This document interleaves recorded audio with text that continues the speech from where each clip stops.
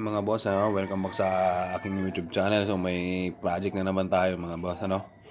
Kung paano magtono nito MIUI 125, ano.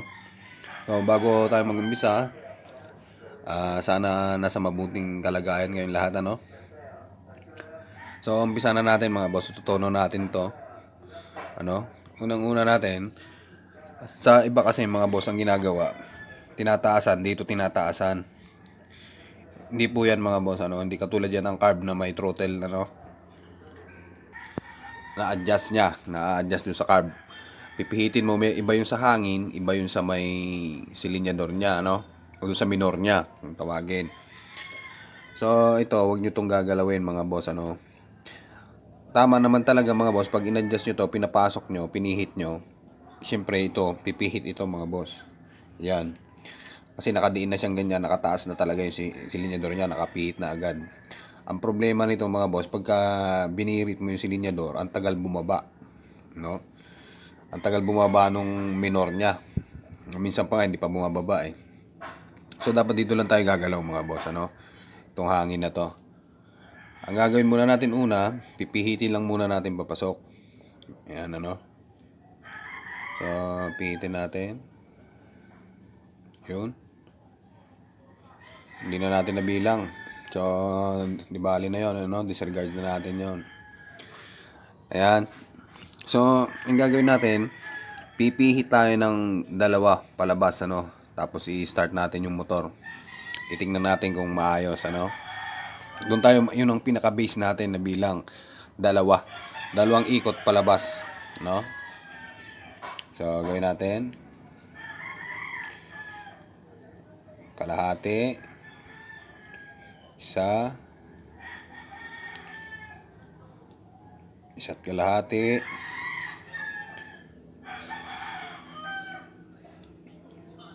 Dalawa. Yan na no? So start natin.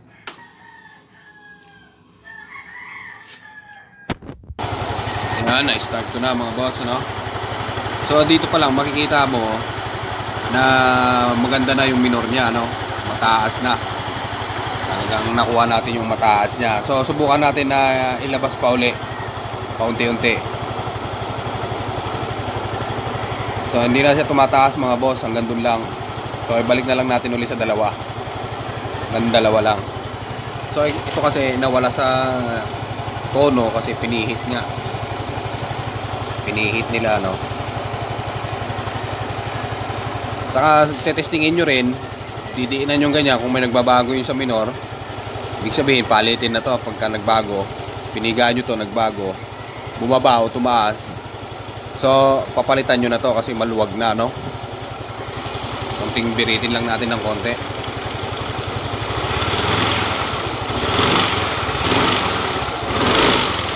Nakita nyo yan? Ang bilis niya. Mabilis lang bumaba.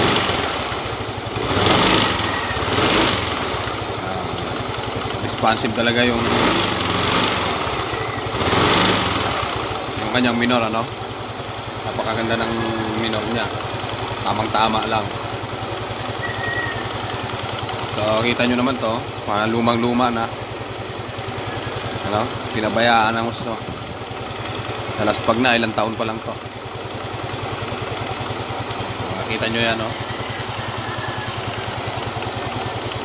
So wag na wag kayong gagalaw dito mga boss ano. Yan. Yan tornilyo na yan, wag din na wag niyo gagalawin to mga boss. Parang maluwag pa.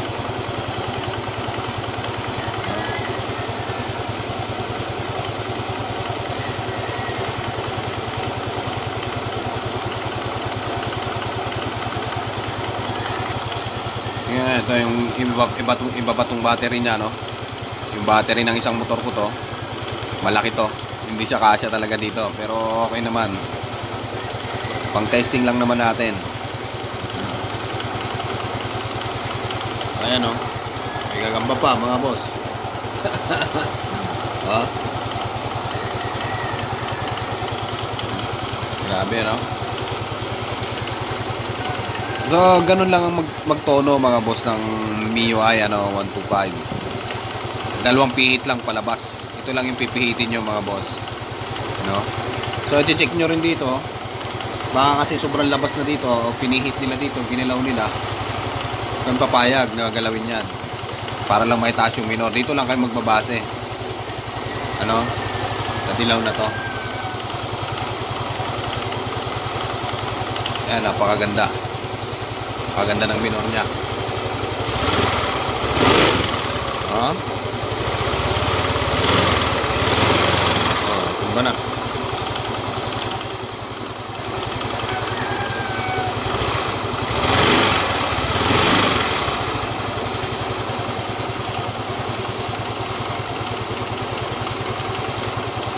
So, ang- problema kasi to.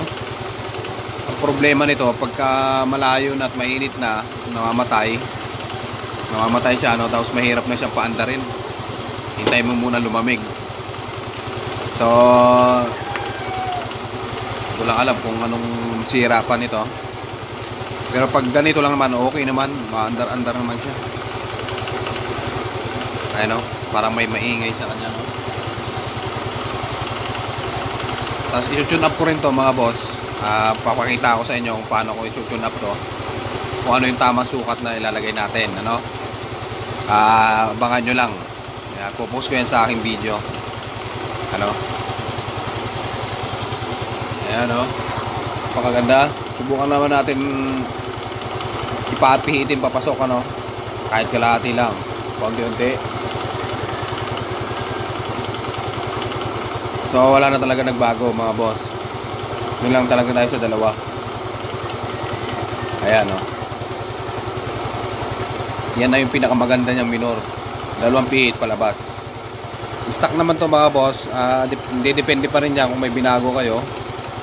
Ano? Pang stock to, dalawang pihit palabas. Yan ang mas magandang tuning ng kwan na to, MIUI 125 ano. Yan. Kita nyo naman din nagbago. Binirit-birit natin, walang pagbabago, ano?